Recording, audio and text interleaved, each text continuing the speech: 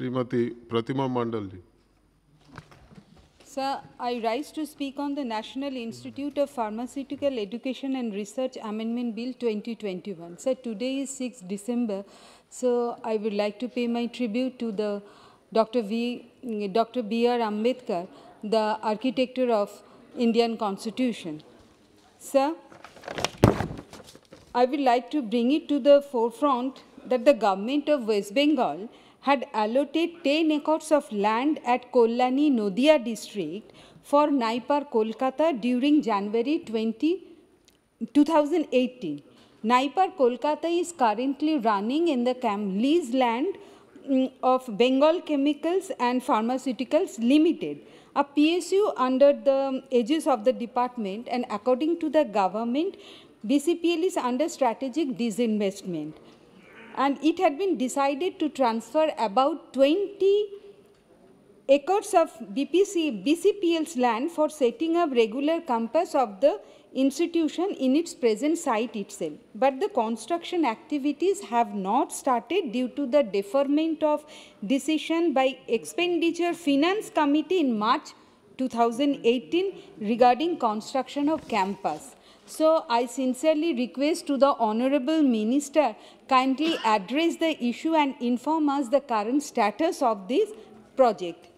And sir, I would like to also mention here that BCPL was established in 1901 by uh, famous scientist Acharya Prafullo Chandra Roy and is the first government-owned uh, pharmaceutical enterprise and it has been manufacturing the hydroxyl hydroxychloroquine drug used for treatment of COVID-19. So I would like to request to the Honorable Minister kindly look into the matter of revival strategy of BCPL instead of disinvestment.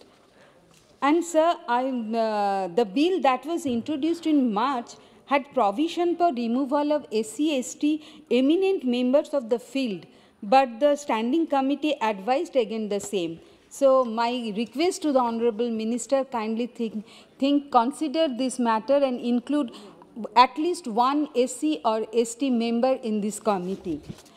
And um, uh, sir, also I would like to draw your attention to the fact that master and PhD student of these institutions are provided with a fellowship, but the students pursuing integrated master's and PhD program are deprived of the same. I would like to know the reason for the same and request to the Honorable Minister to consider uh, into the matter in favor of those students. And my last question, uh, submission is, in the educational program, candidates belonging from SC, ST category are exempted from paying the institute, from paying the tuition fees, which is a welcoming step. But I would like to request the uh, government to extend the same for the student of economically weaker section uh, of the society. This will promote the equity in the system.